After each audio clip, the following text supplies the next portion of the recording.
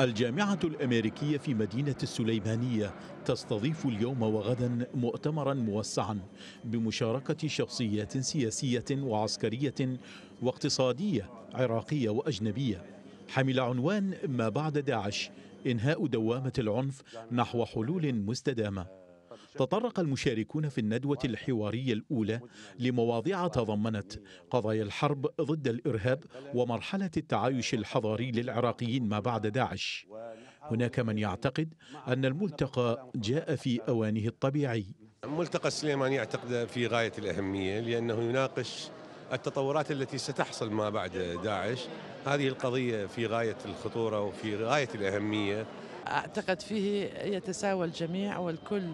يعني وجه أسئلته والهواجس والمخاوف وكلها تطرح اليوم. السياسة والحرب والاقتصاد ثالوث متلازم على طاولة الحوار في الملتقى. والسياسة الناجعة هي ثمرة النجاح في الحرب والاقتصاد كما يشير البعض. نحتاج إلى توازن ما بين العسكر القوة وبين الاقتصاد والحرب آه، والسياسة. ولذلك نعتقد أن السياسة هي حقيقة الموجهة لتوظيف الاقتصاد في محله والقوة في محلها.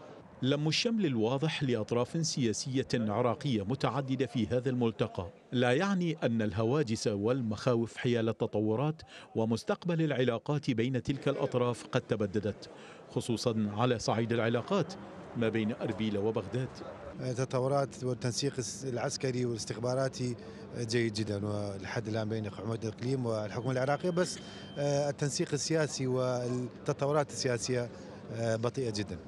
راح تبقى بطيئة وراء هذا الملتقى؟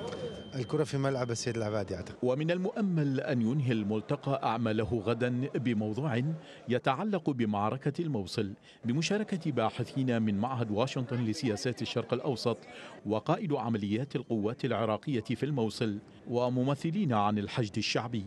في الملتقى الخامس بالسليمانيه الخاص بإنهاء العنف يلتقي الغريم والصديق والسؤال المطروح بقوة هل ستنتهي رحلة العنف في البلاد ما بعد مرحلة داعش؟